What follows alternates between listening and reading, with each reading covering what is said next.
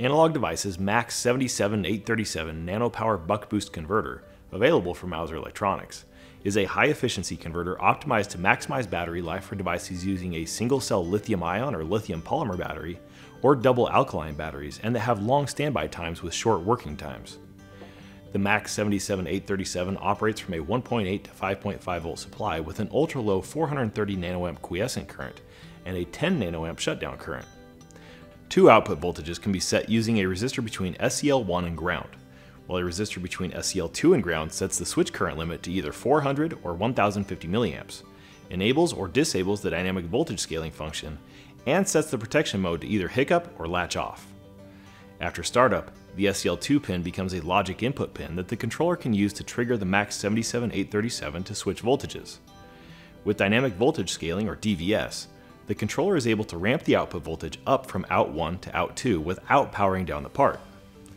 When the output is set back to the lower out, it lets the voltage decay due to load or leakage before it starts operating again.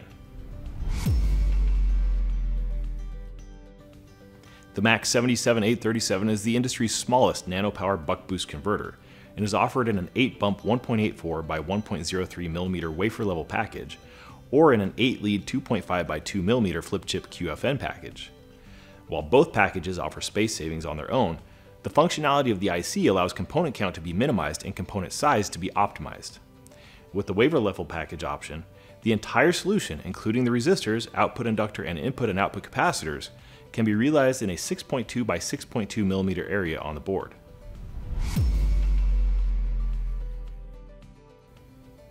The flexibility, efficiency, and compact implementation makes the MAX 77837 ideal for asset trackers, door locks, and other IoT devices or wearables, which spend most of their time in sleep or idle and have relatively short periods of activity. It's also suitable for use with LPWAN SoCs such as those found in smart meters, which normally operate in a low power mode but have higher current needs when actively transmitting or receiving.